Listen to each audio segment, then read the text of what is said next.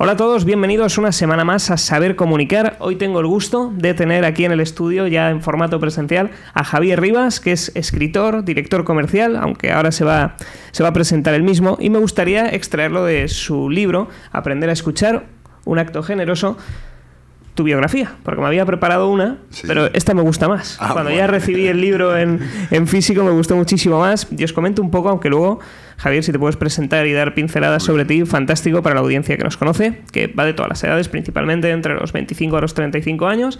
El segundo bloque es de los 35 a los 45, pero también hay mucho joven entre los 18 a los 25. muy bien. Entonces, hay muchas personas que se pueden sentir muy referenciadas en, en tu ejemplo para el inicio de su carrera. Entonces, Javier Rivas es ingeniero técnico electrónico y actualmente trabaja como director comercial de área en una de las mayores multinacionales del sector eléctrico, Legrand, que además conocida, porque enseguida lo mencioné y me, me referenciaron muchos, acompañando un equipo de 15 personas. Me comentaste que llegaste a gestionar más, como Sí, 40. sí, sí.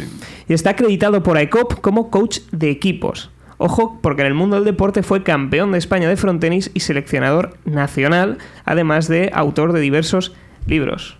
Sí. Espectacular, Javier. O sea, una trayectoria dilatada en distintos campos, en distintas secciones.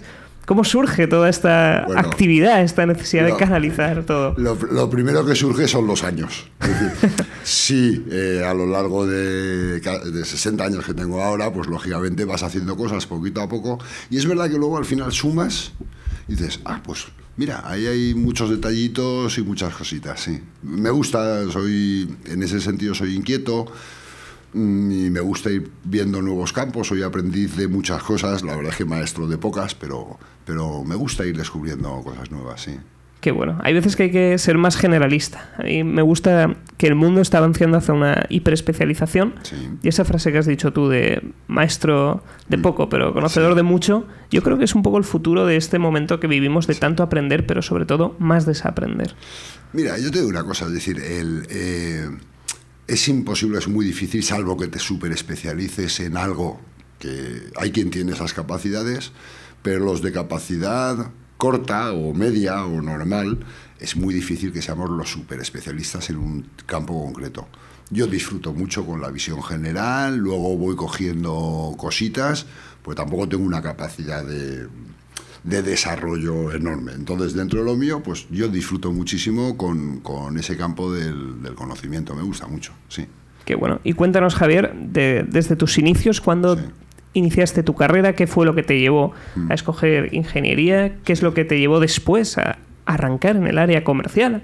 Siendo un perfil de ingeniero, es curioso muchas veces y te encontrarás, so- los ingenieros sois tener la mente muy cuadriculada, Mm. Sí. muy al dato, al hecho, sí. ¿no? Y, y realmente el, el mundo comercial es un arte. Cambia completamente y es más la palabra, la conciencia, lo que dices aquí, el escuchar todas las técnicas que nos desvelas en el libro. Pero sobre todo, cuéntanos para este, este perfil que te comentaba, que son jóvenes que se están iniciando en su carrera, ¿cómo fue tu proceso desde el inicio hasta donde estás hoy? Pues mira, eh, así intentando resumirlo mucho, es decir, a mí se me daban bien las matemáticas, la química y la física, con lo cual pues tenía varias posibilidades, pero no tenía una afición o no soy ingeniero por vocación, simplemente por desarrollo del- de lo que se me daba bien y me podía defender bien. Pero es que yo tuve mucho antes el, eh, la sensación o, o o que me gustaba la parte comercial. Porque había trabajado con mi padre y entonces en algún momento pues había salido con él y había visto que eso de las relaciones, eso es otra cosa. Y me gustaba. No había asociado una cosa a otra hasta que entré a trabajar en una empresa. Alguna día acabé, eh, bueno, no, no, acabé la carrera más tarde, pero vamos, una vez me contrataron como ingeniero.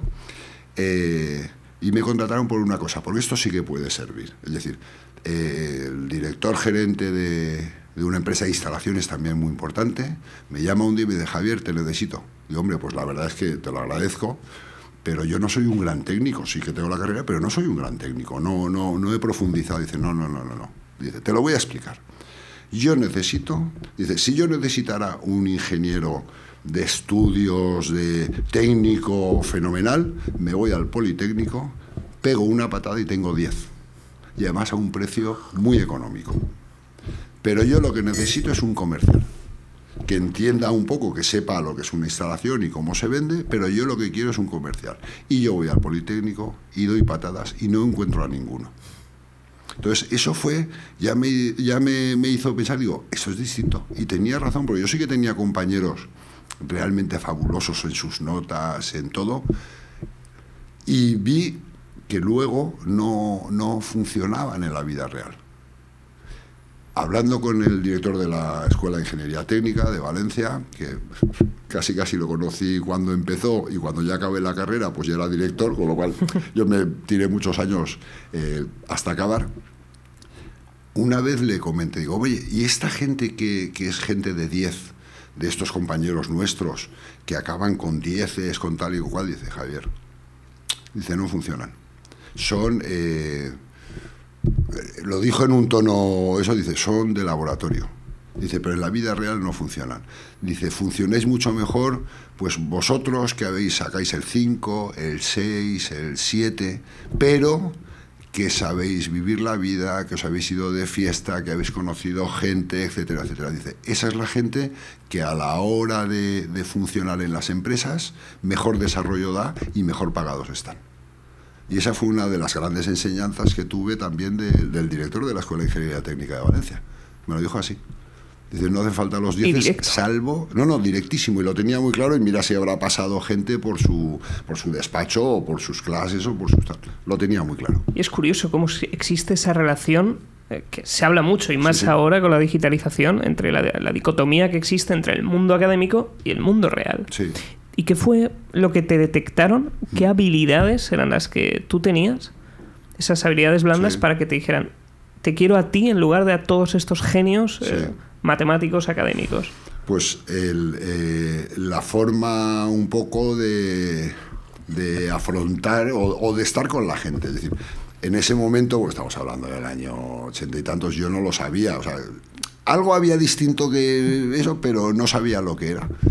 Y en efecto hoy en día ya se sabe, como tú hubieras comentado, son las habilidades blandas y es la inteligencia emocional. O sea, todo el trabajo que llevan esas habilidades blandas que se desarrolla con la inteligencia emocional es lo que yo de forma inconsciente pues se ve que aplicaba. Y principalmente eh, hay una que es que como soy curioso, porque soy muy curioso, muy importante. sí, como comercial también, ¿qué pasa? Que quieres averiguar cosas y solo hay una forma de averiguar cosas y es preguntando y escuchando. Y entonces el libro que tú has comentado antes de aprender a escuchar viene un poco de mis primeras experiencias. Es decir, yo la venta más grande que hice fue eh, ir a ver a un cliente que nadie quería ir a verlo porque era, teóricamente era mala persona o era tal, un industrial potente de, de Valencia que estaba desarrollando unas urbanizaciones y tal. Y me lo soltaron un poco como diciendo, ala, ve tú, porque... Te lo y además era de nuevo, de nuevo casi. Llego allí, Llego a, ese, a ver a este hombre, un señor mayor, me recibe con una sequedad bárbara, pase, siéntese, no tengo tiempo. Pues nada, yo me siento allí temblando porque era de mis primeros. Esto fue al inicio, entonces, de tu carrera. Sí, sí, sí, por mm. eso, como has comentado que hay gente joven es para que sepan un poco, que vean un poco por dónde van los tiros. Llegué allí, me senté yo temblando, me temblaban hasta las orejas. El caso es que me siento allí, Ah, pues muy jovencito eres. Qué jovencito, porque yo empecé también de joven y empezó a contarme desde que empezó de joven. Me contó los problemas que tenía con su mujer, con sus nietos, con sus hijos, cómo le iba al trabajo, que sus hijos no le seguían, que su mujer no le comprendía, que se encontraba solo, que no sé qué, que no sé cuántos. Y estuvo hablando 45 minutos. Yo no abrí la boca, porque estaba asustado. Yo no abrí la boca. Cuando él decía algo, yo solo le hacía con la cabeza, le afirmaba así con la cabeza, que es una de las cosas que... Pero bueno, yo le afirmaba con la cabeza y luego, la verdad es que también me despertaba curiosidad. Un señor que me llevaba 40 años, pero me despertaba curiosidad. Bueno, pues acabamos... Bueno, acabamos, no, perdón.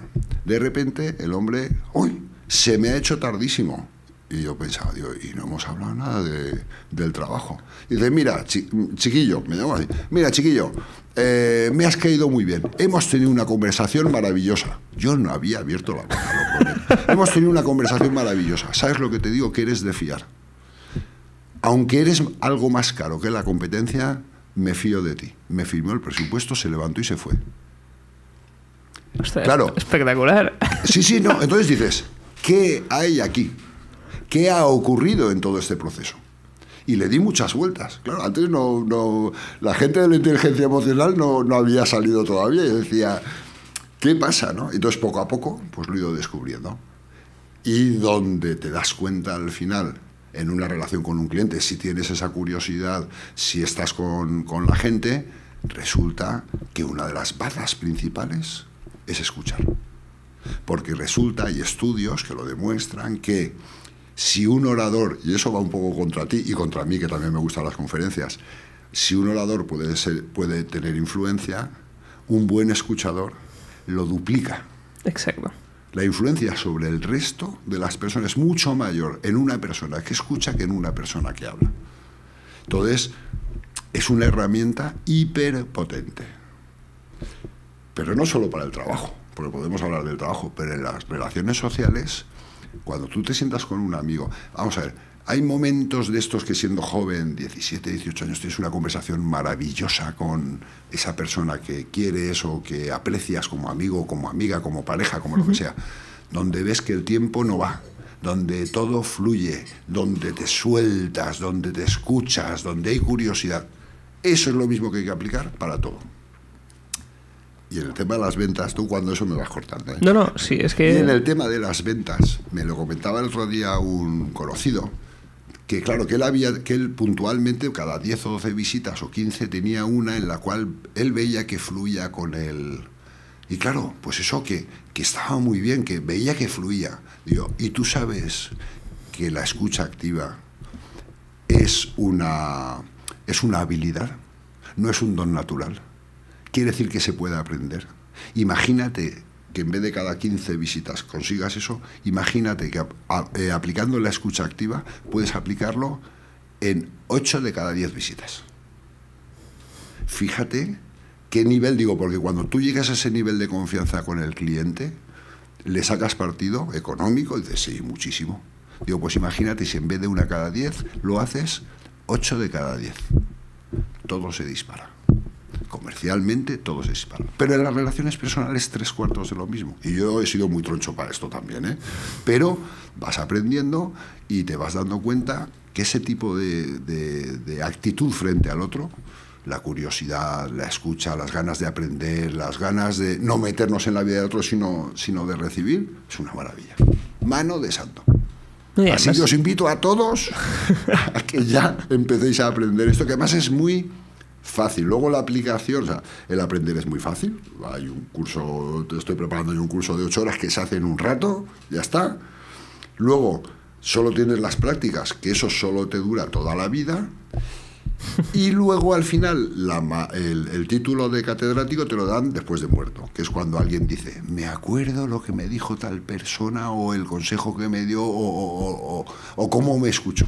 Entonces, en todo ese proceso yo creo que si apostáis ya... Yo he tenido la desgracia que he aprendido muy tarde y me ha ido muy bien. Y, muchas veces pues con mi hijo también lo comento, digo, Javi, si tú eres capaz de aprender estas cosas 20 años antes o 30 años antes de lo que lo he hecho yo, vas a levantar una cantidad de camino bárbaro. Es vital salvo que te encierres en un despacho, te pongas detrás de un ordenador y te dediques a chatear o a, o a, tener relaciones virtuales. Pero en la vida de a pie, iba a decir la vida real, no, ahora ya es todo real. Ahora es todo Pero en la vida de a pie, esto, cuanto antes empecéis es mejor, aunque sea por curiosidad, empezar por curiosidad. Y es una maravilla. Sí, porque aunque sea el mundo virtual, porque aunque eso que tú dices ahora es más real que nunca y con la pandemia, al final, yo quería haber empezado estas entrevistas hace dos meses, pero no se ha podido por esto. Ahora que ya se puede un poco, sí. Pero, y más trabajando en el marketing digital, lo ves. No obstante, sí que es cierto que aún así, la gente solamente te compra lo que ella quiere. Y eso, vamos, pero lo he diagnosticado y llevo años peleándome con la agencia de marketing y digo, da igual, lo que yo te intente educar, enseñar, puede influir. Mm. Pero aún así, tú tienes una idea en la cabeza y lo único que quieres es contarme todo mm. y que yo no diga nada. Y luego reforzarte de otro modo y ver qué producto mío se adapta a eso que tienes en la mente. Pero es curiosísimo. Y luego, esto no, no me acuerdo dónde fue, lo apliqué lo apliqué una vez saliendo de fiesta. Mm. Con, con un grupo de, de chicas lo, lo dije. En lugar de muchas veces sales e intentas demostrar, enseñar, todo lo contrario. Dije, hoy voy a escuchar. Sí. Y me dijeron, oye, me encanta hablar contigo. Claro. Y dices, pero si- y eso que no he hablado. Sí, No has hablado. Nada. Y luego ya pues sigues viendo. Claro, hombre, hay que animar un poquito. Claro, no, no. Sí, sí, sí, sí. Pero es curioso cómo es cierto, ahí entra el ego de la propia persona. Y es algo que, aunque tenga 25 años, lo he vivido mucho. Sí, o sea, señor. yo soy una persona súper egocéntrica, me, me encantan los focos, he sido músico, Sí, he estado claro. tocando. De hecho, en el grupo, la otra persona también teníamos problemas Sí, de ego, sí. los dos. Claro, claro. Y eh, al ser tan buenos amigos y Sí. detectar ese problema de ego, Sí. lo, lo conseguimos identificar y a partir de ahí lo empezamos a calmar. Y doy gracias a Dios de que hoy con 25 años ya no tengo ese problema. Eso se llama inteligencia emocional. Es decir, la inteligencia emocional que muchos de los chavales... Yo vuelvo a remitirme hacia abajo, porque cuanto antes empecemos hacia abajo, mejor. Es decir, la inteligencia emocional no consiste en decir a todo que sí, no consiste en, en ser generoso con el mundo. No, no consiste primero conocerte y saber cuáles son tus emociones. Luego, re- o sea, primero verlas, luego reconocerlas, luego gestionarlas y luego aplicarlas. Es decir, y todo ese proceso es lo que te lleva a tener una buena relación con un amigo tuyo que os podíais haber matado y que resulta que una vez habéis reconocido la situación, os habéis puesto en marcha, en acción, que esa es otra Exacto. que luego hablaremos de la acción. Es decir, te has puesto en acción para poder resolver esa situación. Si no, tu amigo y tú no seríais amigos. Exacto, y nos habríamos matado. Sí, señor. Y realmente nos funcionó porque me empecé a mover pronto. Hmm. Yo llevo montando proyectos desde los 15 años, pero Sí, desde los claro. 17 de forma más serial. Sí, Y uno de ellos con 19 fue una plataforma que, que empezó a tener bastante tracción. sí, Elegí mal los socios, sí. no me comunicaba bien con ellos, me pensaba que yo me iban a seguir el ejemplo, trabajador y tal, sí, no sí. funcionó. Creía que me iban a poder leer la mente, no funcionó. Y no establecí sistemas comunicativos. Y por eso, desde entonces me obsesioné en aprender a saber comunicar más. Claro. Y gracias a eso, pues también llegó ese punto. Mm, Pero me di cuenta es por qué he empezado antes. O sea, y hoy, no sé si te das cuenta, la gente empieza más tarde. Todo. Sí, somos más. Mira, eh, es un poco duro lo que voy a decir, ¿eh? Luego seguramente alguno me dirá. En estos momentos, eh, y hablo de gerentes de empresas y tal que hacen entrevistas y tal, y lo dicen, dice Javier, la gente que entrevistamos es muy buena gente, formados técnicamente, pero blanditos. Blanditos porque les falta, les ha faltado el, el poner el pie en la tierra y en la realidad. Es decir, y tal vez yo, yo soy padre y tal vez yo sea culpable también de haber intentado hacer que las cosas para nuestros hijos sean muy fáciles. Y eso no sé si es bueno. O sea, no tengo alguna duda de que, de que sea lo mejor que podíamos haber hecho. Bueno, ya está, ya lo hemos fastidiado, así que ahora ya está. Es tarde, pero- pero me refiero yo que, que hay que salir a la calle, hay que tocar la vida, hay que pasar experiencias, hay que pasarlo mal, hay que pasarlo bien, hay que...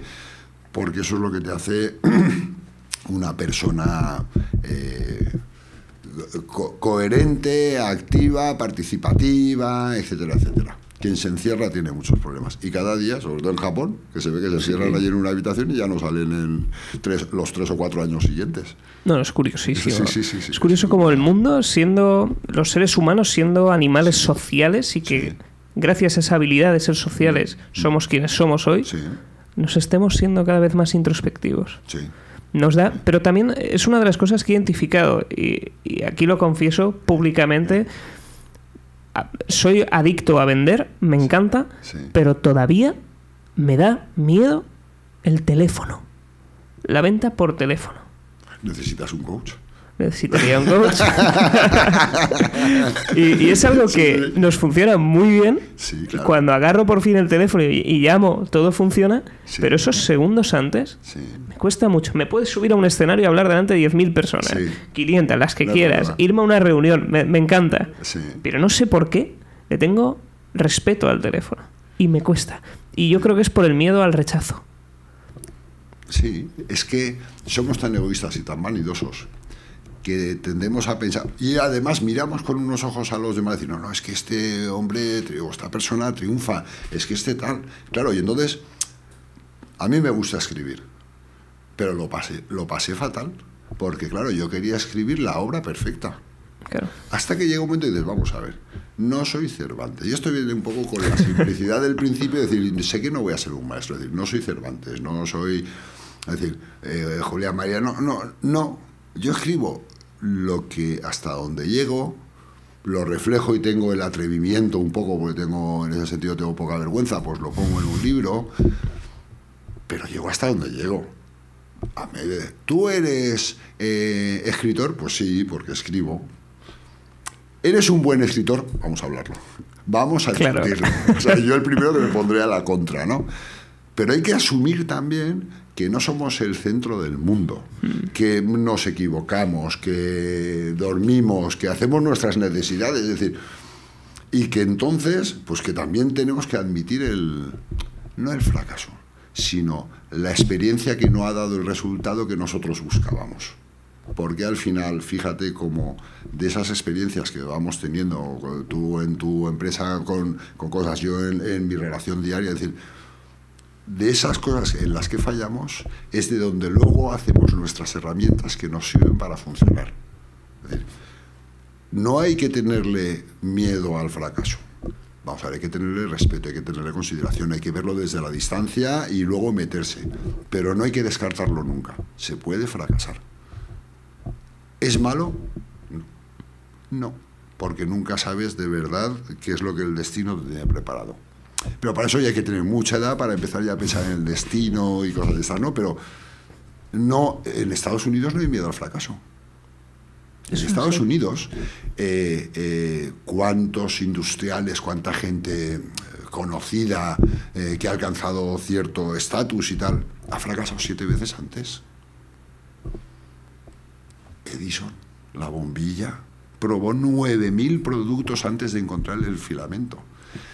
¿Qué le dirían a Edison desde el cero, desde el producto cero hasta el 8.999? De todo. De todo.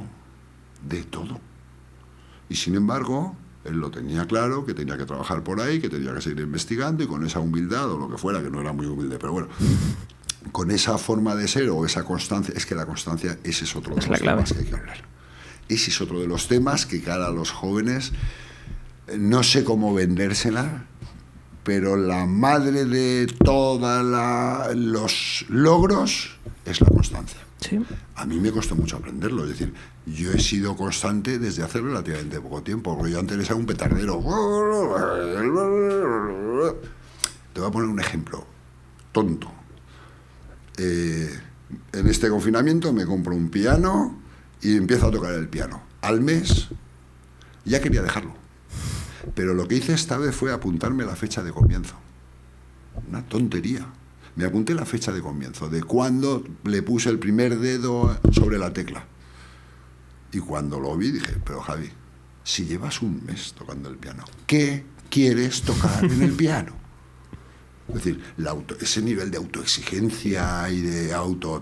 Coño, date tiempo y dentro de 10 años, como tienes la fecha, pues ya miras a ver si ha sido una tontería o no. Pero date tiempo, disfrútalo, perdónate. Es que esa es otra de las cosas. Otra. Las conversaciones interiores. Que somos al final nuestro peor enemigo. No, el peor enemigo no. Puedo decir un tal tú me permites. Totalmente, sin prueba. El más hijo de puta. O sea, no hay nadie que nos hable como nos hablamos nosotros. Está haciendo no sé qué, ahora es que eres idiota. ¿Ves cómo eres un?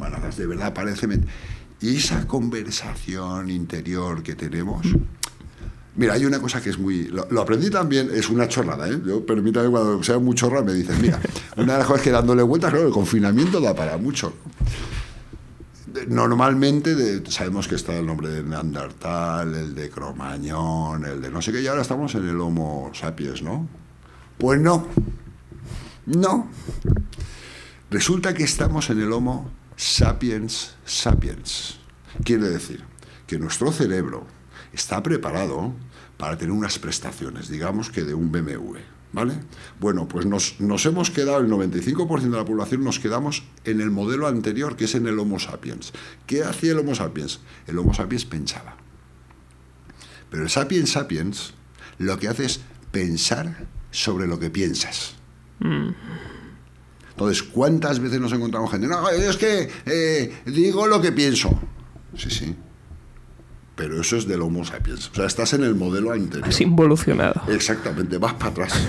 No, yo es que soy muy sincero. Bueno, serás muy sincero, serás lo que quieras, pero vas para atrás. Porque nuestro cerebro está, primero, para pensar, cuando nos viene un pensamiento, y entonces hablaríamos del inconsciente y cosas esas, que también es otro mundo. Tú piensas, luego tienes que pensar porque estás pensando eso, y a partir de ahí poder empezar a actuar.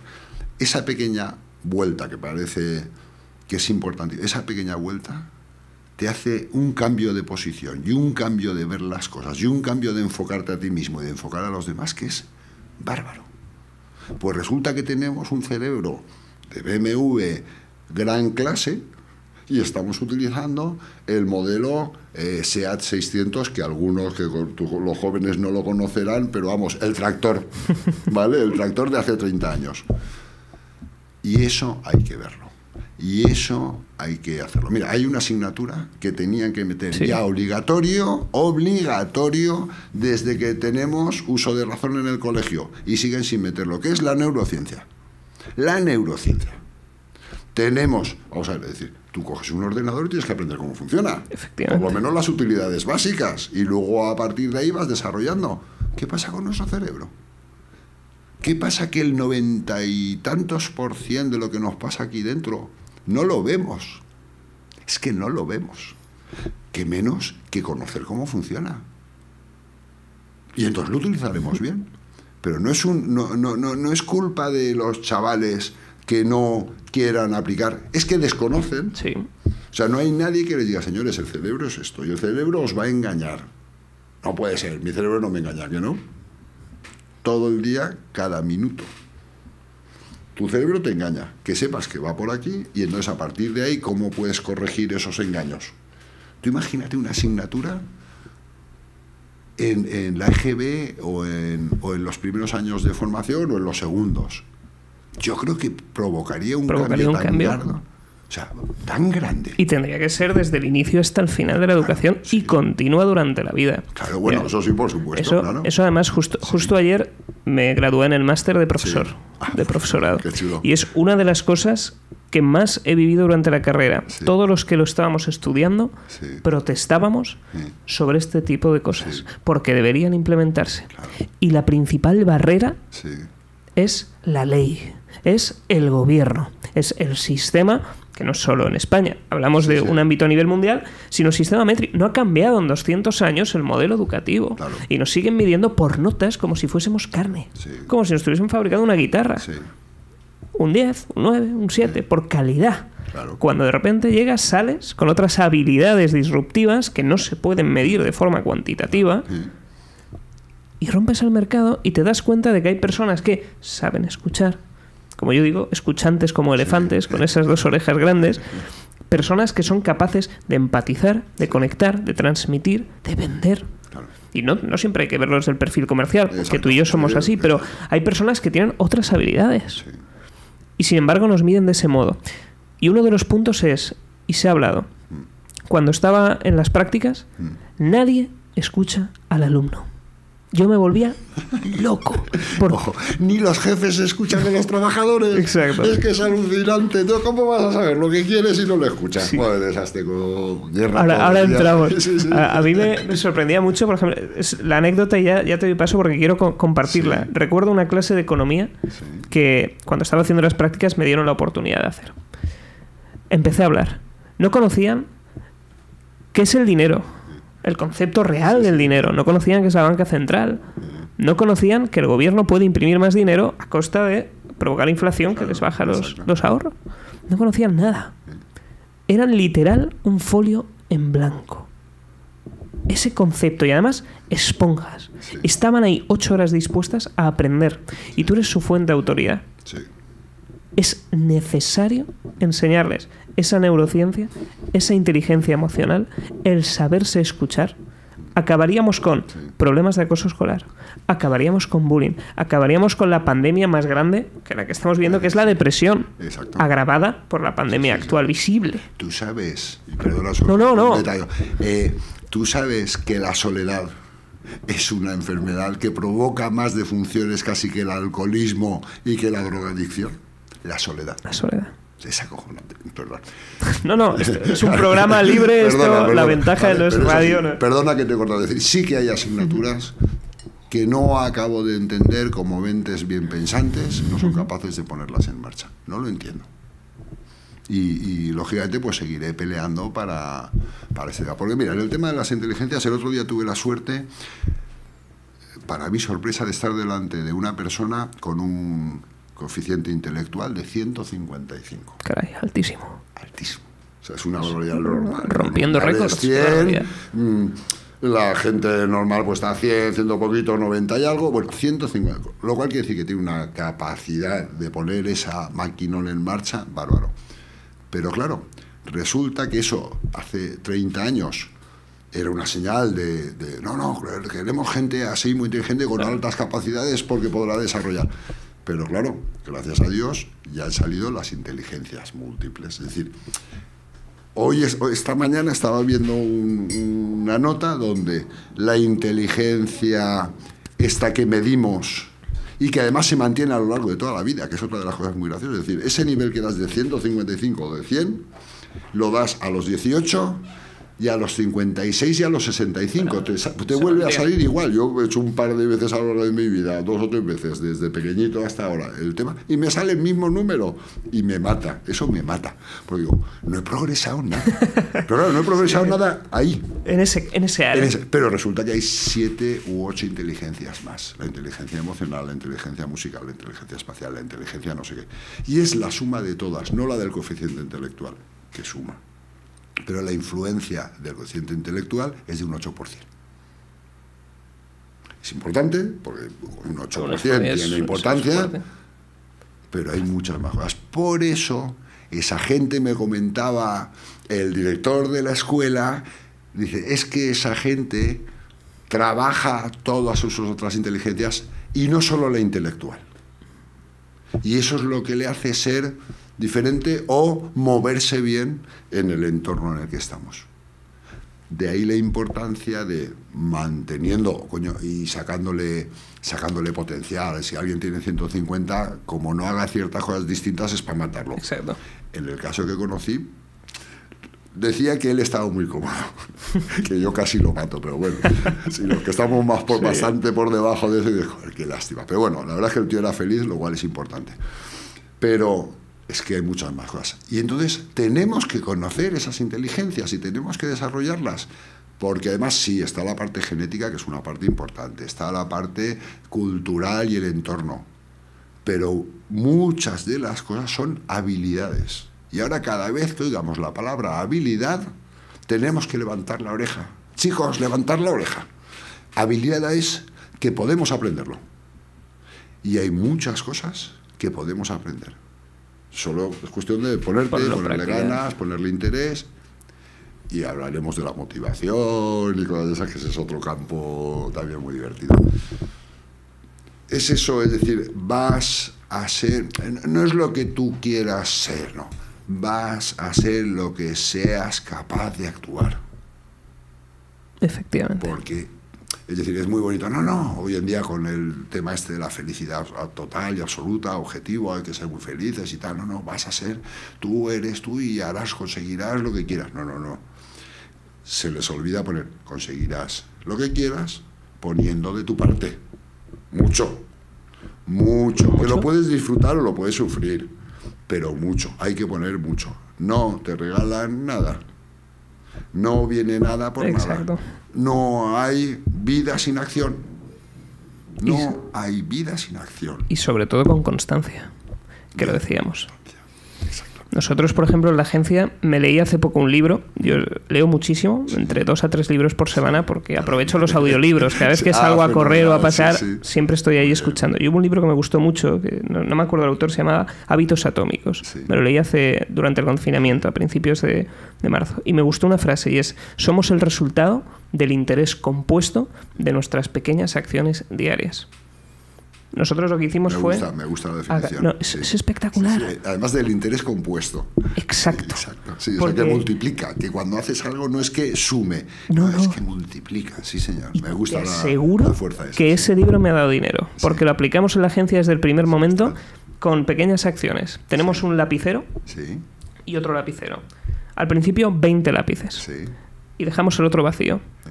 El objetivo es cada mañana, nada más llegamos, vaciar el lapicero y cambiarlo al otro. Ah, un Pero muy cada lápiz visual, sí. es un cliente llamado, un cliente contactado, un prospecto. Sí, señor.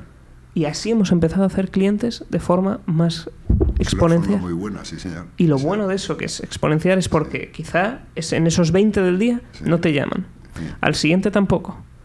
Pero a los tres días te llaman del primero, o referencian al segundo, y la bola de nieve empieza. Claro. Las pequeñas acciones, el trabajar, el, oye, hoy voy a escuchar. Y vas a un lugar, a una reunión, y decides anotar las palabras clave, Sí. escuchar atentamente, Sí. no distraerte, sí. y al día siguiente lo aplicas.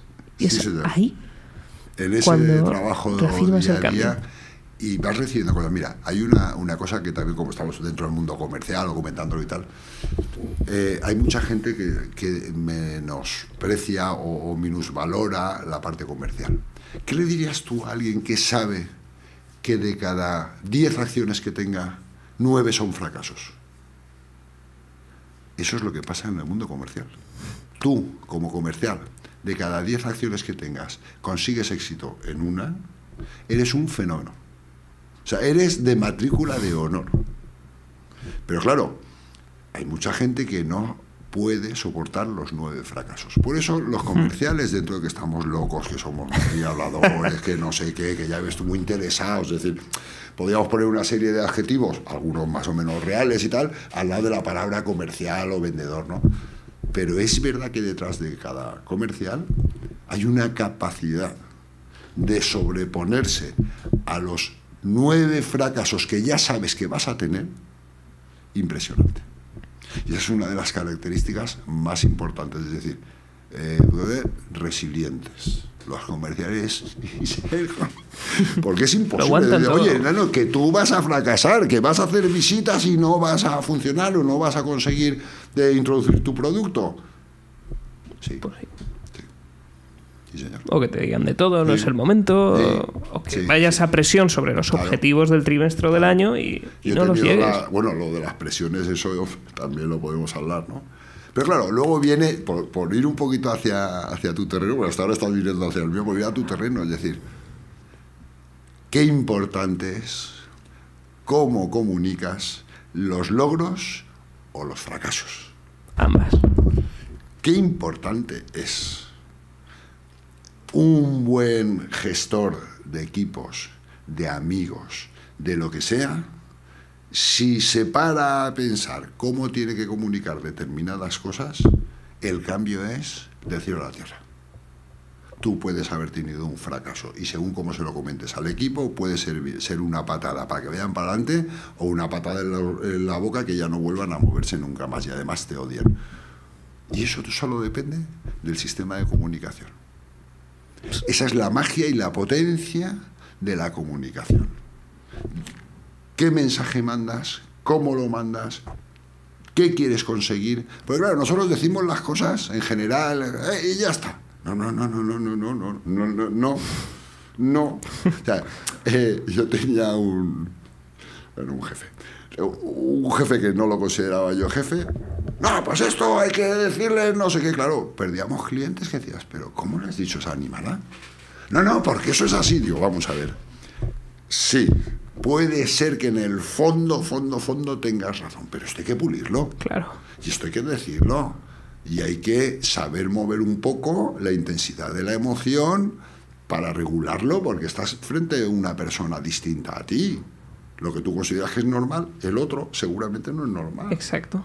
Bueno, pues todo ese en el tema de la comunicación, eso es un mundo que, bueno, que para qué te voy a contar. Ahí hay que entrar. donde- claro. Y eso en, en Sí. tu día a día, Javier, ¿cómo lo diriges? Por ejemplo, tenemos tu, tu lado a la dirección sí. de tus equipos, de cómo les entrenas para ser comerciales, y luego cuéntanos ejemplos también que te cuentan y viven tus comerciales. Y luego ya para colofón, ejemplos tuyos de cómo has conseguido conectar con ese cliente dentro de todo este proceso. Mira, el, el- lo primero, lo primero para, para poder tener una relación, vamos a ver, cuando tú estás trabajando y tienes el equipo, no es que sean amigos, es decir, son relaciones de trabajo. Lo primero es distinguir el entorno. ¿Dónde estás? Tú no puedes ir, y voy a poner un ejemplo que seguramente los chavales no se entenderán. Tú no puedes ir a una camarera de un pub, y hablo desde el punto de vista de los hombres, disculpadme las chicas, poner al revés, revés, o al camarero, al camarero de un pub, sí. decir, eh, pero cuántas veces veo a hombres que como la camarera del pub les sonríe, eso inmediatamente es, ahora voy a ligar con ella. Y entonces resulta que una persona que está trabajando, que está poniendo su mejor cara para intentar ser agradable, tal cual, la estás forzando, la estás obligando a algo que no toca, porque está trabajando, está trabajando. No podemos ser inconscientes de mandar un mensaje en un entorno equivocado, en una situación equivocada Exactamente. sirva como ejemplo. Pues lo mismo pasa en el trabajo, es decir, yo puedo eh, personalmente a cada uno de los miembros de mi equipo apreciarlos un montón, pero en el trabajo estamos trabajando y las relaciones tienen que ser de trabajo. Entonces lo primero es marcar el entorno. Una vez marcado el entorno o asumir el entorno en el que estás. Porque no puedes ponerte a hablar como con un amigo, eh, cabrón, no sé qué, venga, ah, ahora nos Claro. una birra y no sé qué. No, no. Ni ellos lo entenderían, ni además ellos que están trabajando pueden estar contigo, perdón, están contigo porque están trabajando, pero podrían no estar contigo como amigo. Por tanto, no es, man- no, no es distancia, es saber el entorno que te mueves. Efectivamente. Una vez definido o, o comprendido el entorno, lo segundo es explicarlo. Porque hay gente que como o puede tender a mezclar o no entender o una distancia o una cercanía, lo segundo hay que explicarlo. Lo tercero es ponerlo de acuerdo. Tú te tienes que poner de acuerdo en que ese es el entorno en el que queremos trabajar, lo tenemos claro, sabemos separar, nos vamos a dirigir así. Es decir, porque tú puedes tener una forma de dirigir, pero esa forma de o, de, o, de, o de comunicar, pero esa forma de comunicar puede el de delante no entenderte. ¿Y qué es la comunicación? La comunicación es el acuerdo entre dos personas. Tú tienes un discurso, no, yo comunico fenomenalmente bien. Sí, sí, pero quien tienes delante te ha entendido. Si no te ha entendido, tú como responsable de la comunicación tienes que moverte. Y tienes que ir acoplándote un poco a, a esas formas. Siempre dentro de un entorno laboral, ojo, ¿eh? Es que, Exacto. o, o dentro de un entorno familiar, o dentro de un entorno de amigos, o dentro de un entorno deportivo, o dentro de tal. Es que tienes que saber cómo estás. Y una vez tú has acordado con el de enfrente cómo queréis hablar, ojo que estoy hablando de acuerdo, no de imposición. Y una vez lo has acordado, coño, resulta que todo fluye. Él sabe cómo, se, cómo, cuando le estás diciendo algo, cómo, dónde y por qué y para qué. Y tú tienes la tranquilidad que estás utilizando el idioma que utiliza esa persona y entonces resulta que hay comprensión. Y lo que tú has dicho antes, ya no es una acción de uno más uno, sino es una acción de uno más uno elevado mínimo a dos, con lo cual ya estás en Exacto. cuatro, ya no estás en dos.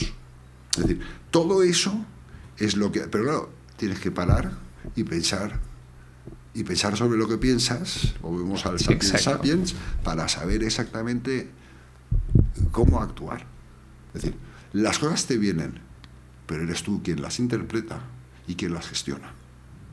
Te pueden venir cosas, puedes tener golpes de fortuna, golpes de mala suerte, golpes de no sé qué, pero nuestra posición de cómo la vemos es lo importante. Entonces, en el caso de, de la comunicación, por no irme otra vez por las ramas, en el caso de la comunicación es muy importante conocer el entorno, gestionarlo, saber a quién tienes delante, hacer propuestas, admitirlas, porque no tenemos la razón absoluta. Esa es otra de las cosas. Es decir, a medida nos vamos haciendo mayores y ya cuando tenemos 60 o más aún, es decir, al principio somos muy absolutos, esto es así, esto es blanco o es negro, luego ya vamos moderando. Bueno, pues os pido que os, que, que os abráis, que os reblandezcáis antes. Todos los años que ganes en red, que no quiere decir ser más débil, sino simplemente estar abierto a, a otras posibilidades, a la curiosidad y al conocimiento. Bueno, pues en la comunicación, en el caso de los equipos, es lo mismo. Ábrete, te proponen y cuando te lo más bonito es cuando te proponen y te sorprenden. Y descubres, gracias a esa escucha en este caso que has hecho de lo que quiere el otro, es que descubres un mundo. No, no hace mucho leí en un y dice, quien habla ya conoce lo que dice. Quien escucha aprende. Y es que es verdad. Tú quieres aprender, propon y escucha. Entrégate, que te vean, que te abres, que te preparas. Y si lo haces bien y, esas cosas se ven, la gente la vemos, es una maravilla. Bueno, pues en la comunicación, yo con mi equipo, un poco lo he dicho, esos son los pasos un poco que, que en todos los equipos que he estado intento hacer. ¿Y qué problemas son los que se encuentran en esos equipos? Porque nos acabas de dar vamos, yo creo que ahí sale un manual hmm. completo de cómo establecer un sistema comunicativo entre el líder del equipo y el responsable de, cada equipo, ¿no? Cada célula del equipo, pero además un, paradigma de cómo enfrentarte a, a diferentes contextos. Venta comercial, venta familiar, que también se vende en la familia, en fin, en general tienes que establecer esos sistemas. Y luego, ese es el manual. ¿Y cuál es la realidad en la aplicación del manual? ¿Qué problemas se encuentran? tus equipos en el día a día o te has encontrado, por ejemplo, eh, broncas que, les hayan echado los clientes o problemas de algún equipo, no sé, cuéntanos dentro de la experiencia del día a día, sobre todo para ilustrar a las personas que, nos están escuchando y que sean capaces de decir, vale, ya tengo este manual, voy a intentar atraerlo a mi negocio, a mi empleo, a mi familia. Es muy fácil. es muy fácil, es decir, cuando tú, ¿cómo, cómo te quedas tú cuando eres capaz de tener un problema Vamos a ver, ¿qué es lo primero que nos pasa por la cabeza cuando tenemos un problema? Eso solo me pasa a mí y solo lo tengo yo. Es decir, tenemos la sensación de que lo que nos pasa, somos tan vanidosos y tan egoístas que vemos que ese problema es único y exclusivo. Vale, perfecto. ¿Qué pasa cuando de repente hablas con alguien y resulta que no es ni tan único ni tan exclusivo? ¿Y qué pasa cuando además lo puedes contar. Pues resulta que cuando tú eres capaz de contar algo que te pasa, empiezas a darle solución al problema. Primero por contarlo. Ya te liberas. Con lo cual, del nivel de tensión alto, ya pasas a un nivel más normal. Ya no tenemos ese consumo excesivo de todas las cosas que cuando nos ponemos en estrés nos vuelve loco y nos bloquea. Y entra el sistema límbico, que es el que te hace actuar sin pensar y eso por eso hablábamos antes de la neurociencia, ¿vale? Pues no. Cuando tú bajas ese nivel de estrés a unos niveles más moderados, tu cerebro empieza a funcionar bien.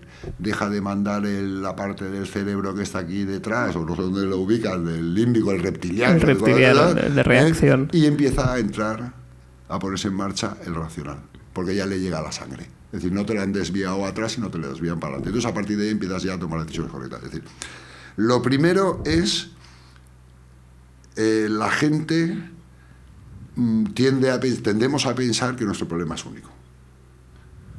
Si consigues romper esa barrera, ya, ya has ganado un 50%. El problema principal que me he encontrado a la hora de comunicar para que la gente llegue un poco a tener confianza es, imagínate, yo he entrado en un sitio donde hay un equipo ya formado y yo entro a sustituir a otro director o a otro lo que sea me, me, donde más me ha costado es en el historial. En el historial. el historial del equipo. De lo que le ha ocurrido a cada persona. Pues claro, yo vengo con un librito nuevo y un poquito distinto, y entonces, claro, están acostumbrados a determinadas cosas. Y como, han tenido, como hayan tenido jefes un poco más canallas o un poco más mala leche, o un poco más impositivos, o un poco más tal, tienen un digamos, miedo horroroso a poderse soltar. Es lo primero que tienes que trabajar. ¿Cómo se consigue eso? Pues tratando de dar confianza. Primero que lo que vayan a decir no va a ser nunca utilizado en su contra, siempre que sea correctamente dicho. Que si no lo dicen correctamente hay que decirles que las cosas hay que decirlas correctamente. Que lo mismo da poner un taco no, pero que si tú lo dices y tú tienes ganas de escuchar y tienes ganas de aprender, les vas a atender. Claro. Pero ojo, siempre les digo lo mismo. Tú puedes contarme o proponer o decir todo lo que quieras. Eso no quiere decir que se vaya a hacer lo que tú dices. No te equivoques. Luego, en función de dónde trabajamos, dónde estamos o qué es lo que hacemos, podremos hacer unas cosas y otras no. Pero lo primero es conseguir descargar la bola hinchada que se nos mete en el riñón y que nos tiene inflamados todo el día, es pincharla para que vaya soltando el aire poco a poco. Porque lo peor que hay es cuando se te hincha el hígado, porque entonces de repente revientas y no sabes por qué. Si tú mantienes un nivel bajo de tensión, pues de vez en cuando te quejas un poquito, pues vale, normal, normal. vas quitando. El problema está cuando te encuentras equipos con Que el- están- hinchados, inflamados. Que entonces a la primera que dices te vuelven loco perdido. Y sabes lo gordo, que tienen razón. Porque nadie les ha hecho ni caso. Claro. Nadie. O sea, es sobre todo un problema de liderazgo del, del anterior equipo, ¿no? Sí, De- sí, puede ocurrir esas cosas o esa forma de trabajar. Ten en cuenta que, que- que, es decir, de, de ahora para adelante estos temas van a ir más en la línea del liderazgo humanístico, Sí. otra- eh, tal. Pero venimos de otra época.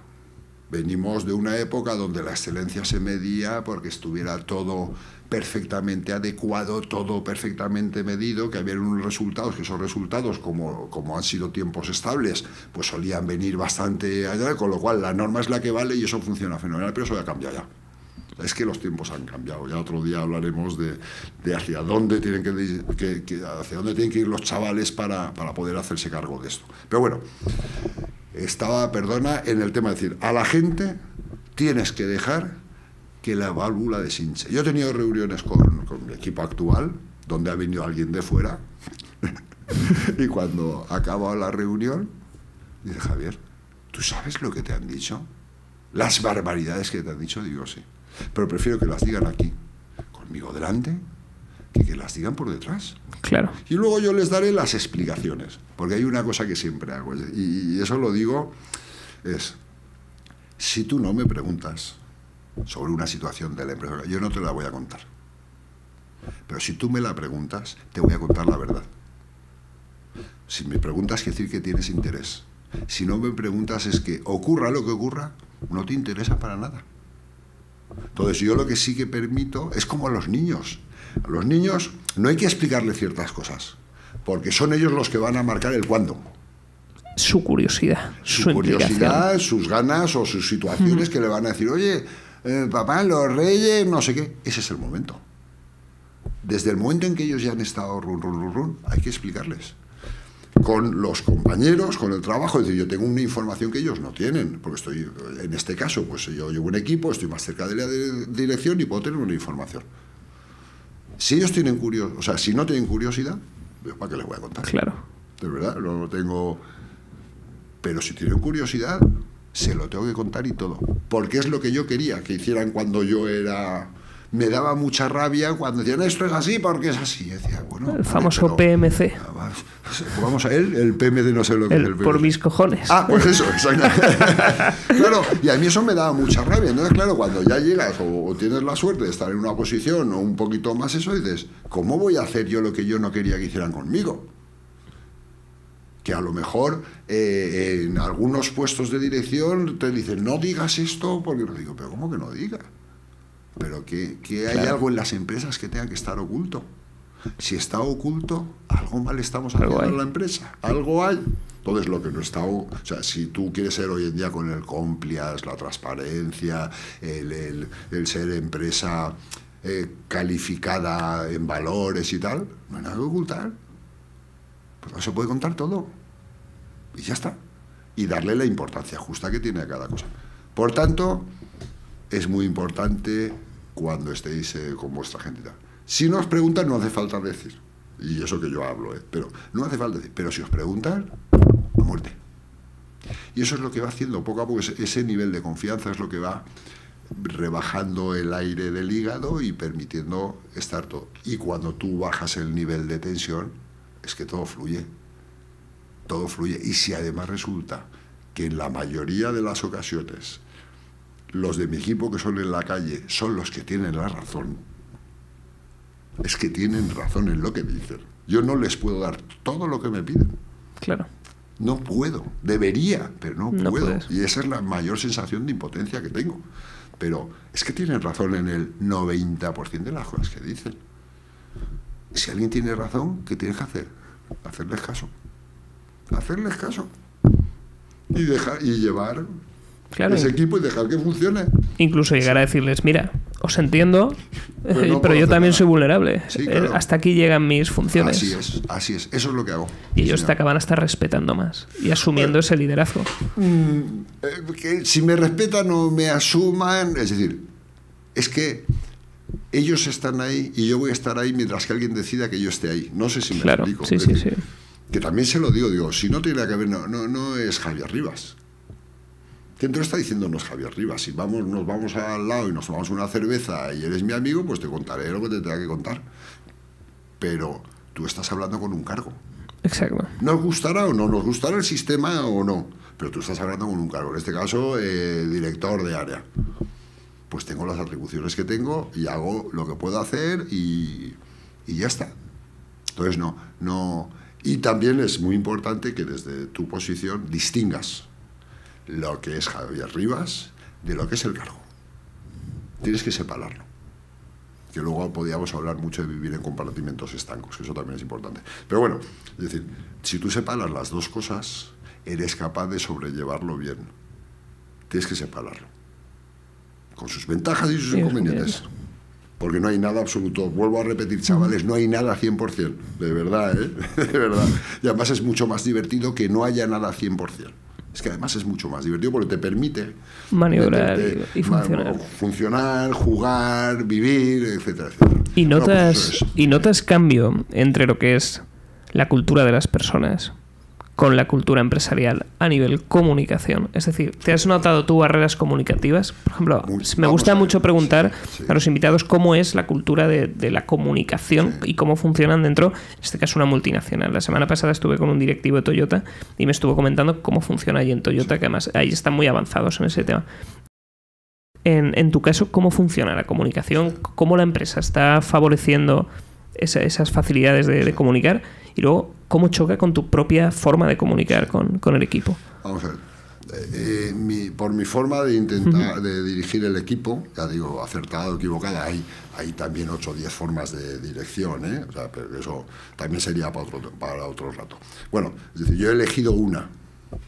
Esa una a lo mejor no coincide exactamente con la que eh, mi dirección tiene, pero es verdad, es decir, eh, la dirección en el caso nuestro nos deja bastante libertad de acción, ¿no? O sea, dentro. Y entonces, ¿qué me gustaría a mí? Eso lo, digo así porque lo digo, se lo comento a los jefes, digo, es que me gustaría notar esa cercanía. O sea, notar la cercanía, ojo, no de amigo a amigo, sino de, trabajador a, a, la empresa, a la dirección. Pero hoy en día las empresas todas, no la mía, sino todas, por lo que vamos, conozco a la competencia y pasa tres cuartos de lo mismo, es decir, eh, tiene ya tal fuerza la parte financiera, la parte que es normal, es decir, que una empresa está hecha para ganar dinero, ¿no? Claro. Pero bueno, hay muchas otras, o sea, hay formas añadidas de poder ganar dinero, que eso también nos daría otro tema. Pero bueno, entonces, eh, hay muchos momentos donde las personas necesitan sentirse reconfortadas. Más en momentos difíciles, más en momentos tal esa cercanía que se tiene, pero a mí me gustaría, yo soy más blandito, a mí me gustaría más. Claro, pero ya es una, una apreciación personal. Eh, mi empresa ha funcionado 50 años sin mí y funcionará otros 50 años sin mí y bien, con su objetivo que es ganar dinero o tener beneficios o tener tal. Con lo cual, bueno, pues yo intento aportar algo y luego ya, pues, eh, doctores tiene la iglesia. Cada maestrico tiene su librico. Es decir, yo tengo un concepto de lo que es la una dirección y por arriba tienen el mismo u otro. Entonces, la comunicación, pues no hay una definición, es decir, es que es muy estándar. Que bueno, lo mejor para no llamar mucho la atención es ser muy estándar. Necesito de vosotros esto, os lo comunico. Necesito esto, lo comunico. Y necesito esto, lo comunico. Suelen ser asépticos, sí, en el caso nuestro para mí demasiado asertivo. Yo soy más calentón, más cariñoso, ¿no? Pero... Sí, no, eso además irá cambiando ahora, como tú decías antes, con las nuevas generaciones, que son más de un liderazgo consciente, más humanista. Sí, Javier, nos acercamos ya al final de la entrevista. Daría para, se me está pasando volando el tiempo, daría para dos o tres más, que quedan abiertas, por supuesto, me encantaría seguir profundizando más en esos otros temas que, que has ido diciendo, ¿no? Esto da para otro tema, pues habrá otra entrevista con esto, pero sí que me gustaría que, que terminaras con dos bloques que me gusta iniciar siempre al final. Primero, ¿qué le recomendarías a nivel comunicativo en base a tu experiencia a los jóvenes? Entre 18, vamos a ampliar un poco hasta los 30 años, a, ese rango de edades, para que mejoren sus carreras profesionales, ya sea en su empleo, en su, doctorado, en su, en su posición o eh, montando un negocio. Y luego, por otro lado, la parte en la cual darías tres consejos para todos. Mm. Una, consejos para jóvenes y luego otra, consejos generales que pueden estar, la verdad, vinculados. Sí, sí, sí. Vamos a ver. A los jóvenes, desde el punto de vista de la comunicación, para mí es importantísimo que, uno, que escriban. Que escriban. Que escriban. ¿Por qué? Porque nuestro discurso, es decir, nuestro, el discurso que damos verbalmente, eh, nos parece muy coherente pero si seguramente lo grabáramos, veríamos la cantidad de incoherencias que hay. Y lo mejor para dar tiempo a que el pensamiento funcione y para pensar en lo que pensamos es escribir. Porque eso te obliga, primero, a hacer un ejercicio de coordinación, a poder revisar y saber exactamente. Es decir, yo tuve la suerte de tener un trabajo en el que mi jefe me pedía, yo que me mantuve mucho tiempo en ese trabajo, me pedía que yo redactara las notas. Mm. Y hoy en día, como estamos con los 140 caracteres puñeteros estos, es decir, como generalización, pues no escribimos. Escribe, trabaja, sobre todo porque te va a permitir, uno, ver cómo va tu cabeza y dos, organizarla. Tú puedes mandar tres pensamientos muy buenos, pero como no estén bien coordinados, has fallado. has fallado. Y a lo mejor lo que tenías que decir primero lo tendrías que haber dicho después. Y entonces ese el orden es importante, entonces esa, esa organización mental es importante. Por tanto, lo primero es, segundo, eh, lo breve si breve es dos veces breve, no es bueno. Lo breve si breve es dos veces breve. Es decir, eh, hay un lenguaje variado, hay un lenguaje fluido, hay mil millones de palabras que son importantes. La RAE, el diccionario, pincha en internet que cualquier palabra eh, comprende su significado, porque cuando descubras el significado de una palabra se te abre otro mundo más. Es decir, la lectura. Hay que leer. Hay que leer. Sí o sí, está bien ver vídeos, está bien, no sé qué. Perfecto, pues parte de la cultura y tal. Pero lee y si además analizas cuando lees ya... Eso ya es para, nota. Eso ya, y si además escribes sobre lo que has leído, entonces ya es para nota. Porque mm, una máquina puede ser capaz de jugar a un videojuego fenomenalmente bien, de ganarle al ajedrez al tal. Pero puede hasta redactar, pero no puede darle una coherencia y un valor emocional y un valor sentimental y, un, y una empatía. Eso no lo va a poder hacer la máquina. Si tú quieres trabajar, tienes que saber que eso no lo hace la máquina. Hoy en día es, este trabajo lo puede hacer una máquina, no sigo por ese camino porque estoy muerto. Es lo primero que hay que ver. Ese trabajo lo hace una máquina, estoy muerto. Fuera. Fuera. Este trabajo comercial donde estoy vendiendo productos sota, caballo y rey, lo hace una máquina. No sigas por ahí. No te empeñes en seguir vendiendo eso que en un ordenador vas a comparar y vas a ver el mejor precio en 10 minutos y te lo van a traer en 24 horas a casa. No. Eso la máquina lo hace. Por tanto, lo siguiente es mirar a ver toda la parte, o sea, y, aprender mucho del tema de inteligencia emocional y formarte, etcétera, etcétera, porque con todo ese paquete y volvemos al inicio, fíjate, si al final es que todo esto va así, eh, va, es decir, a las, a las habilidades blandas. Esas habilidades blandas hoy en día son vitales. Es decir, el conocimiento técnico de cómo se hace una integral, una diferencial, un cálculo matemático una, un ensayo científico, eso ya está. Pero son esas, eso lo tenemos todos y sacando un 5 en la carrera, pues a lo mejor es suficiente. Pero a igualdad van a coger al que, al que tenga esas habilidades, a las habilidades blandas, que son un montón y que ahora entras en Internet y miras habilidades blandas para la empresa porque lo de buscar Internet es una maravilla. Es decir, eso es lo importante hoy en día. Y con eso tendrán un camino muy adaptado. Pero tienen que empezar ya.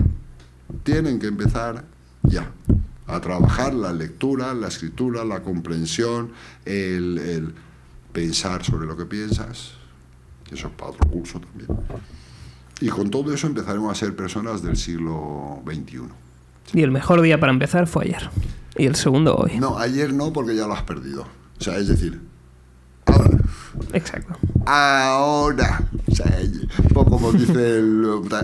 Mañana. Ahora. o sea, que nada más termines con esta entrevista, te pones a leer, te pones a escribir. Fundamental.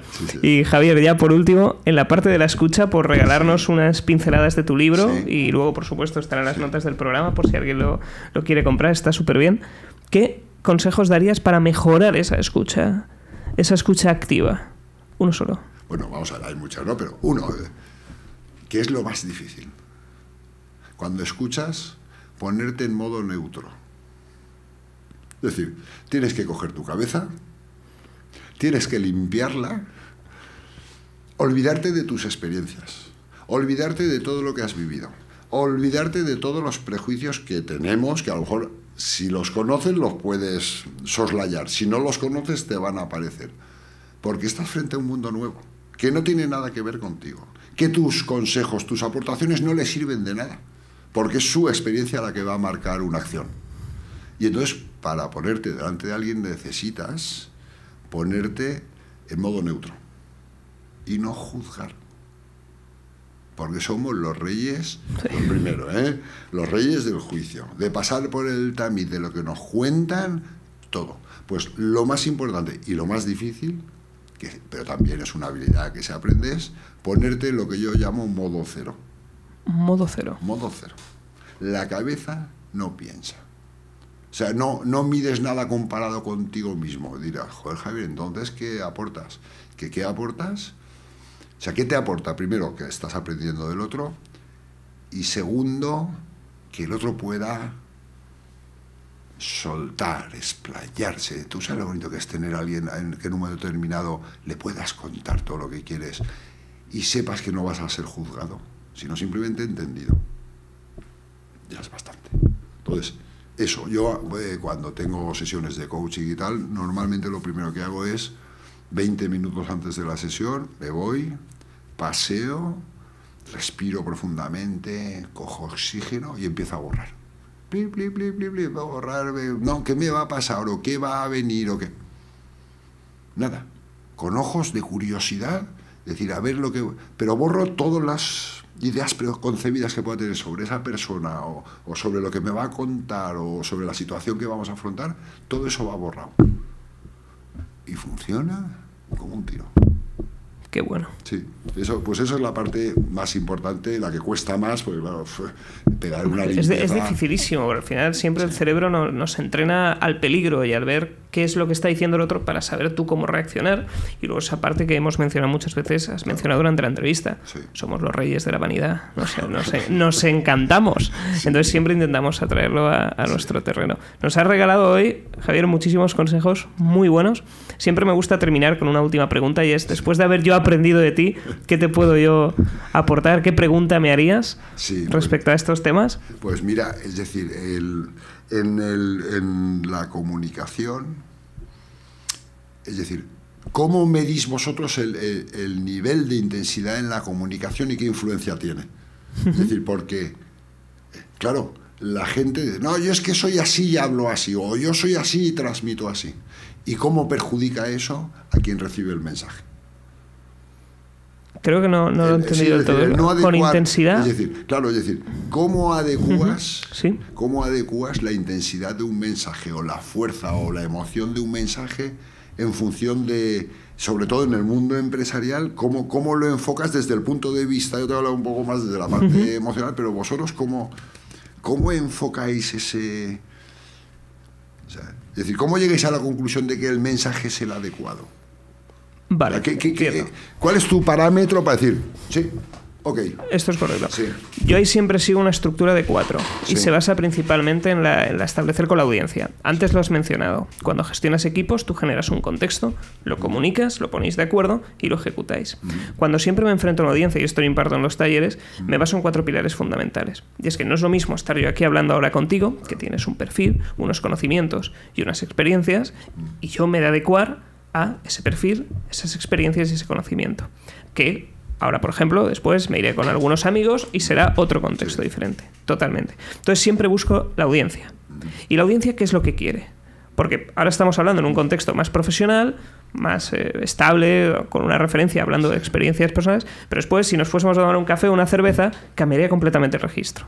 Segundo, ¿qué es lo que la audiencia pretende conseguir? ¿Cuál es el objetivo? Y ahí entran dos variables que siempre mido. Primero, ¿qué es lo que yo quiero conseguir? ¿Qué impacto quiero generar en la audiencia? ¿Quiero que se queden reflexionando? ¿Quiero que se lleven algún aprendizaje? ¿Creo que ejecuten una acción? Y luego, ¿qué es lo que la audiencia está esperando recibir de ti en esa charla, en ese simposio o en, ese, en esa formación? Sí. Entonces, tienes que saber casar de una forma sencilla. Y es, lo primero, estoy enseñando a alguien. Yo no soy la estrella. Porque muchas veces como oradores en esa vanidad, y yo, yo he sido el primero, yo he sido el primero que lo he hecho como todo. Siempre he salido tipo rockstar Sí. y en los últimos 3-4 años ya no. Salgo para decir, vale, tengo a estas personas que quieren adquirir Sí. esto y mm, todo mi objetivo va a ser adecuar siempre mi lenguaje a ellos intentar buscar siempre tendencias que, que les guste. Por ejemplo, mi mayor parte dentro de la preparación de los talleres Sí. siempre es identificar el perfil. A ver, ¿cómo- ¿es siempre? Perdón. Siempre identificar el perfil de la audiencia. Exacto. De forma que hasta intento llegar al punto de qué tipo de música les puede gustar. Porque cuando estoy dando clase a chavales en colegios, Sí. siempre les hago referencia, aunque no me gusta nada, yo soy rockero, a canciones de reggaetón, canciones que pinchan en discoteca, analizo cuál es el salseo o, la- o las, o los parámetros que ven en, en la cultura popular, por ejemplo, Sí. programas que yo no veo, como por ejemplo, uno, uno que me hizo muchísima gracia de, de la isla de las tentaciones, puede ser uno que metían a no sé cuántos en una isla a ver, algo, a ver si eran infieles. Pues Sí. recuerdo que justo estaba impartiendo un taller intensivo en un colegio y era el no va más. Lo, lo escuché un día, la siguiente formación, me aprendí las cuatro cosas y empecé a soltarles ejercicios en base a eso. Sí. Entonces, ¿cómo mides el impacto respecto a si un mensaje ha sido eh, implementado? Lo primero, lo ves si esos tres, esas tres cuestiones que te has planteado, es decir, han hecho la acción, se han, han reflexionado, han aplicado, han aprendido y luego sobre todo midiéndolo. Y esto lo ves sobre todo en la, en la parte fundamental de lo siguiente, porque es, es una parte muy difícil de medir, pero tú lo has dicho antes. Si tú supieras como comercial que puedes aprender a escuchar y puedes comunicar mejor. Y en lugar de tener una de cada diez entrevistas con un cliente en estado de flow, en estado de conexión, exacto. pudieras tener ocho, lo has dicho, no te, no te ha hecho ni falta medir el... "Ah, se va a disparar. Es que es así. Entonces, es cuando tú aplicas correctamente la identificación de la audiencia, identificas el contexto, identificas su estado emocional, porque no es lo mismo tener audiencia enfadada. Imagínate ahora que Tesla, por ejemplo, presentó resultados fantásticos. Las acciones se dispararon previas a la presentación. Imagínate que han tenido un desastre catastrófico. O ahora que Wirecard se ha declarado en quiebra y tendrán al CEO después de pagar los 5 millones de dólares, saldrá a declarar. Pues el estado emocional de las personas que han perdido esos 100 dólares por acción y han caído a, a uno están cabreadísimos. Entonces tú tienes que saber y en- implementar dentro de tu propio mensaje ese estado emocional. Puedes salir, y aquí hay, hay dos corrientes, por ejemplo, Jordan Belfort, que fue el, el lobo de Wall Street, lo habla muy bien. Si quieres conectar muy bien con una audiencia en un estado emocional y quieres luego llevarlo a tu terreno, inicia enfadado. Entonces, él, por ejemplo, habla de, de cómo se relaciona con su hijo al inicio. Papá, es que estoy cabreado. Pues yo estoy más cabreado. Y entonces, enseguida el niño dice, estamos en el mismo plano y a partir de ahí vas rebajando la emoción. Entonces podría salir el CEO de Huerca diciendo, estoy verdaderamente cabreado por cómo han salido estas ideas, y yo también, pero bueno, y ya a partir de ahí lo vas difuminando. Y luego con esos tres puntos es fundamental. La audiencia, la edad, el interés, el lenguaje, y a partir de ahí eres capaz de diseñar una estructura comunicativa fantástica para poder aplicar tus resultados. Pero sobre todo, ya por resumirte, que he divagado un poco, tres puntos clave. Primero, saber a quién le hablas.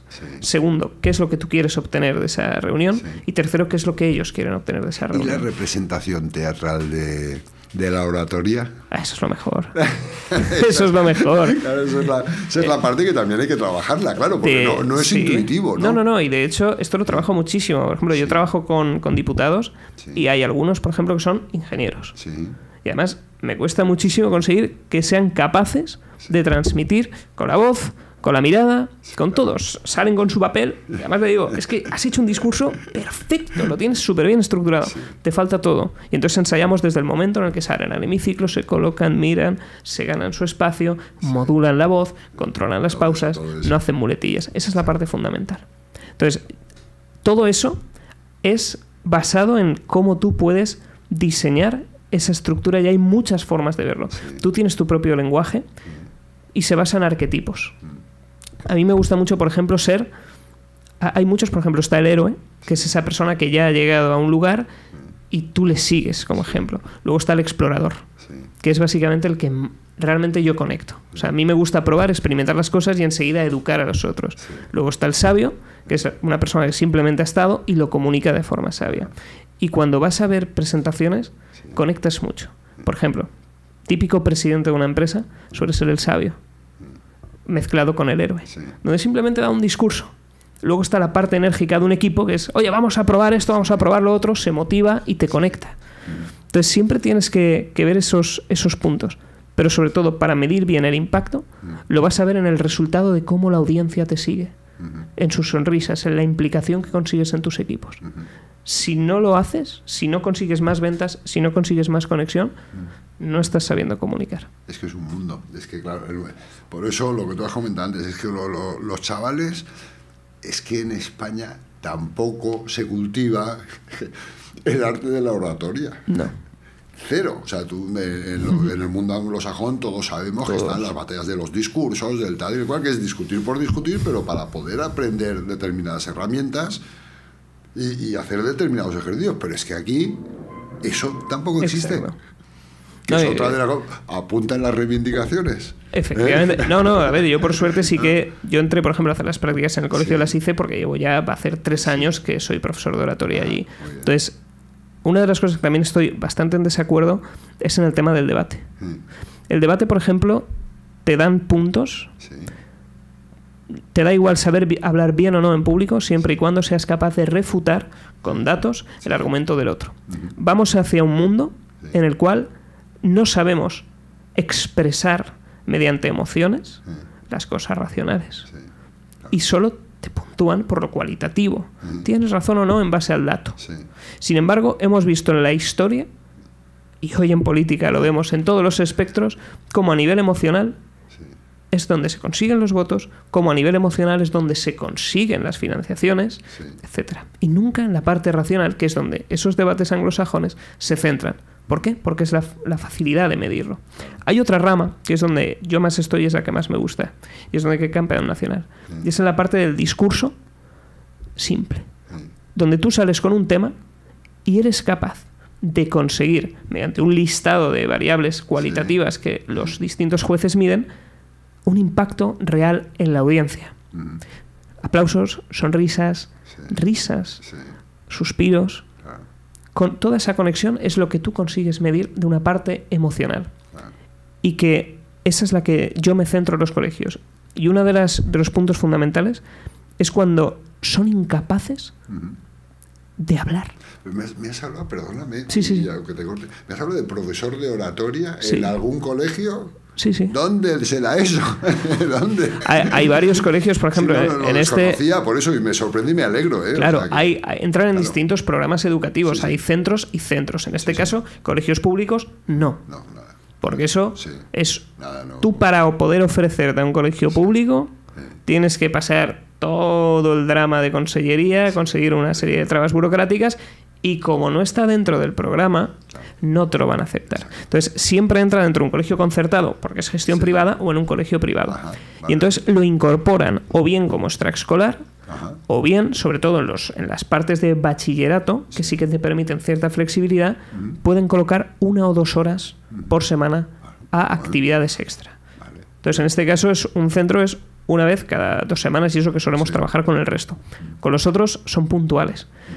Pero uno de los problemas que más me encuentro, y mi tesis de máster ha ido dirigida a eso, y es horrible, es que los profesores que no saben comunicar, lo he vivido en el máster, lo he vivido en la docencia, Sí. nadie les forma. Pero lo peor es que se creen que por estar en la práctica diaria de la oratoria y explicando, son buenos comunicadores. Claro. Y no es el caso. Pero no son humildes. Grábalos. Si al final, o sea, hoy en día tenemos una herramienta fenomenal. ¿vale? Venga, eh, oye, sí, sí, no, fenomenal. Oye, ¿te importa si te grabo? Y luego que se vean. Exacto. Y luego que se vean. ¿Ya está? Y así, no, no, y se les ¿eh? iría, tienes Sí, toda la razón, y se les iría completamente toda esa falsa humildad, porque luego, cuando les explicas y les dices, dicen que no. Que no. Que el problema, y eso lo detecta en mi tesis, es, no, es que el problema es que no tienen ganas de aprender. El problema es que hay violencia en el aula, hay acoso, no me tienen respeto. Eso Sí. es Sí, cierto sí, que se es- está es- acrecentando en esta sociedad. Sin embargo, ¿y si estos cuatro problemas están diagnosticados por culpa de tu falta de conexión comunicativa con el alumno? No, pero no puedes hacer esa trastada, Fernando, porque entonces resulta que le estás atacando a su responsabilidad. Y claro, Exacto. en el 99% de las situaciones que vivimos, o sea, el ser humano mentalmente lo que hace es atribuir la culpa a otro o a otra circunstancia. ¿Por qué? Porque lo difícil, lo que te supone esfuerzo y el cuerpo está preparado o la mente está preparada para ser vaga, si tú asumes una responsabilidad, inmediatamente tienes que ponerte en acción. Exacto. Solución, no asumo la responsabilidad y no hago nada. Porque la culpa es de fuera, la culpa es de mi padre, la culpa es de mi madre, la culpa es de mi novia, la culpa es de mi amigo, la culpa es de no sé qué. Y eso te deja tranquilito. ¿Sí, señor? Pues ahí está, es decir, grábalos. Y deberían, ser sí, grabados sí. y una de las cosas que deberían aplicarse en, en estos tipos de formaciones son clases y exámenes Mm. de saber comunicar y empatizar con los alumnos. Ya, eh, yo, como ya llevo los últimos 20 años, gracias a Internet, que estoy enamorado de Internet, de verdad, por la capacidad de cosas que puedes encontrar. Hay mucha basura, pero, pero encuentras verdaderas joyitas. Yo, es decir, yo voy aprendiendo cosas y además con la ilusión de no tener que examinarme. Por la emoción que despierta en mí el, el encontrarlas, el aprenderlas, el, el utilizarlas. Mm, cuando le encuentren fruto al arte de la oratoria, primero, si tú se lo pones delante, ellos ya van a saber que existe algo de eso y que eso es medible. Y entonces, habrá gente que te entre al minuto cero y habrá gente que te entre dentro de cinco años. Cuando se vea en una situación que diga, joder, es verdad, Fernando, si esto ya me lo decía Fernando. Yo lo único que intento hacer siempre, en los libros que escribo, es decir, perdóname la putada que te acabo de hacer, pero es que te acabo de informar de que puedes hacerlo. O sea, ahora ya no eres un ignorante. Ahora ya sabes pues que existe la comunicación oral y que tiene sus formas. Si no la sabes hacer es porque no quieres. Ahora ya sabes que, eh, eh, que existe la, la forma de mejorar con la escucha activa. No lo haces es porque no quieres. Ahora ya no es es que no lo sabía. Ahora es que no quieres. Entonces ya te lo miras. Entonces, un poco va por ahí decir, tú deja esa semilla ahí de la, perdón, esa semilla de la oratoria, esa semilla de la necesidad de poder hablar en público y tal, y antes o después un día te encontrarás a alguien por la calle y te dirá, joder, Fernando, qué bien me vino. Ya está. Satisfacción total. Con eso ya habré cumplido Sí, en este mundo. Exactamente. Porque con impactar una vida es lo que comentábamos fuera de, cámaras. Yo soy muy partidario del efecto mariposa.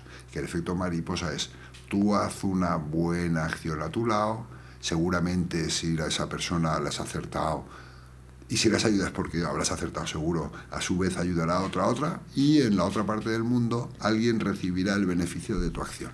Eso para los jovencicos. Es decir, sí, funciona. Funciona. O sea, pongámonos en, pongámonos en marcha desde hoy para hacer cosas para el de al lado, para el tal, porque al final funciona. Sí. Y da resultado. Sí, señor. Sí, señor. Bueno, pues Javier, llegamos al final de la entrevista. Al final nos hemos alargado un poco más, no sé lo, la duración que tendrá, pero a mí me encantado estar aquí contigo. Siguiente entrevista tendremos que profundizar más en esa inteligencia emocional, en esa gestión y en escucharnos a nosotros mismos. Sí, señor. En esa parte de gracias. saber comunicar más interna. Muchas gracias por, por abrirme un poco a tu gente, por dejarme contar aquí las historietas de abuelo, que me lo paso pipa. Y, y- y ojalá tenga la suerte que algo de lo que hayamos dicho, como dice el, el presidente de, de una, es muy amigo, bueno, el presidente de Asnie, dice, "Eh, solo quiero que os llevéis un par de cositas en la mochila. Con eso ya el, el trabajo está hecho. ¿eh? Ya Muchas está gracias, hecho. Fernando. Muchas A gracias. ti, me lo he Javier. pasado pipa. Pues un abrazo a todos también, los que nos estáis escuchando en Saber Comunicar, y nos vemos la semana que viene con más consejos para aprender a comunicar mejor en nuestro día a día.